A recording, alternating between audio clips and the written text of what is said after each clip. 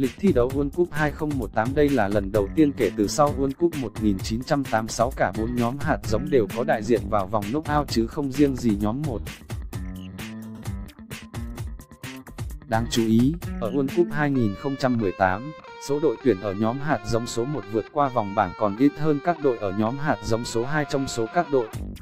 Ở nhóm hạt giống số 1, gồm chủ nhà Nga và 7 đội dẫn đầu bảng xếp hạng FIFA, Ba Lan và Đức là hai đội tuyển không thể lọt vào vòng 1 phần 8. 6 gương mặt còn lại giành vé đi tiếp gồm Nga, Brazil, Bồ Đào Nha, Argentina, Bỉ và Pháp. Brazil, Bỉ cùng Pháp là ba đội ở nhóm một dẫn đầu bảng đấu mà họ tham dự. Ngoại trừ Nga, mỗi đội ở nhóm một phải đánh bại lẫn nhau để giành quyền vào chơi trận chung kết.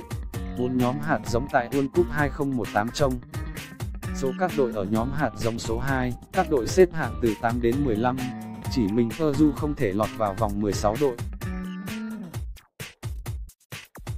7 đội tuyển khác gồm Tây Ban Nha, Thụy Sĩ, Anh, Colombia, Mexico, Uruguay và Croatia đều vượt qua vòng bảng. Tây Ban Nha, Colombia, Uruguay cùng Croatia là những đội đứng đầu bảng đấu. 5 trong số 7 đội này cũng nằm chung một nhánh. Những cái nhất sau vòng bảng World Cup 2018 đang